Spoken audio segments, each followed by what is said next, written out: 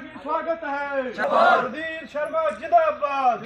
जिंदाबाद जिंदाबाद। स्वागत है जी स्वागत है। शर्मा जी का स्वागत है। प्रदीप शर्मा आगे बढ़ो। हम तुम्हारे साथ हैं। स्वागत है जी स्वागत है। शर्मा जी का स्वागत है।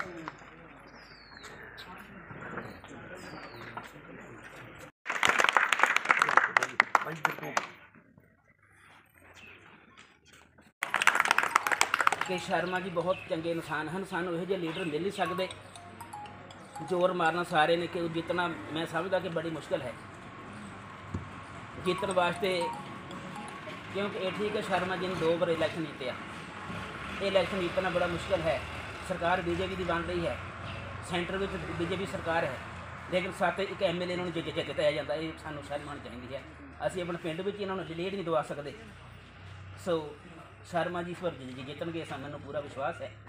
ਤੇ ਇੱਕ ਮੈਂ ਇਤਦਾਦ ਵੀ ਵਾਅਦਾ ਕਰਦਾ ਕਿ ਅਗਰ ਤੁਸੀਂ ਮੌਕਾ ਦੋਗੇ ਤਾਂ ਅਸੀਂ ਇੱਥੇ ਬਹਿਲ ਚ ਵੀ ਇੰਡਸਟਰੀ ਏਰੀਆ ਬਣਾਉਂਗੇ ਨੰਦ ਬਹਿਲ ਵੀ ਇੰਡਸਟਰੀ ਏਰੀਆ ਵੀਰ ਸ਼ਰਮਾ ਜਿੰਦਾਬਾਦ! ਜਿੰਦਾਬਾਦ ਜਿੰਦਾਬਾਦ! ਔਰ ਇਹ ਇੰਡਸਟਰੀ ਏਰੀਏ ਬਾਰਡਰ ਤੇ ਹੀ ਕਾਮਯਾਬ ਹੁੰਦੇ ਨਾਲਾਗੜ ਬੱਦੀ ਲੈ ਲਓ ਟਾਲੀਵਾਲ ਲੈ ਲਓ ਮਹਿਤਪੁਰ ਲੈ ਲਓ ਸਾਡੇ ਗਵਾਲਥਾਈ ਲੈ ਲਓ। ਔਰ ਦੋ ਇੰਡਸਟਰੀ ਏਰੀਏ ਨੰਦ ਬਹਿਲ ਔਰ ਬਹਿਲ ਦੋ ਇੰਡਸਟਰੀ ਏਰੀਏ ਬਣਾ ਕੇ ਨਵੀਆਂ ਇੰਡਸਟਰੀਆਂ ਲਗਾ ਕੇ ਤਾਂ ਅਸੀਂ ਬੇਰੁਜ਼ਗਾਰੀ ਨੂੰ ਦੂਰ ਕਰਨਾ, ਇਹ ਸਾਡੀ ਯੋਜਨਾ ਹੈ।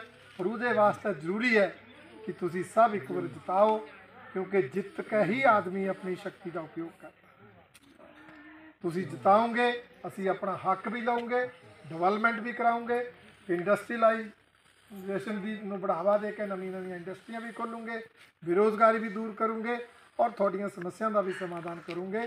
ਇਹੀ ਵਿਸ਼ਵਾਸ ਦਿਵਾਉਂਦੇ ਹੋਏ ਇੱਕ ਵਾਰ ਫਿਰ ਤੁਹਾਡਾ ਇੰਨੀ ਦੇਰ ਤੱਕ ਇੰਤਜ਼ਾਰ ਕਰਨ ਵਾਸਤੇ ਸਾਡੀ ਗੱਲਬਾਤ ਸੁਣਨ ਵਾਸਤੇ ਬਹੁਤ ਬਹੁਤ ਧੰਨਵਾਦ।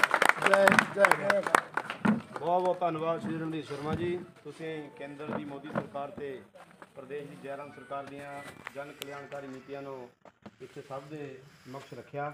ਤੇ ਮੈਂ ਇਹੀ ਤੁਹਾਨੂੰ ਆਪਣੇ ਇਸ ਛੜੀਆ ਬ੍ਰਾਹਮਣ ਬਸਤੀ ਤੇ ਸਾਰੇ ਗ੍ਰਾਮ ਪੰਚਾਇਤ ਬਹਿਲ ਵੱਲੋਂ ਤੁਹਾਨੂੰ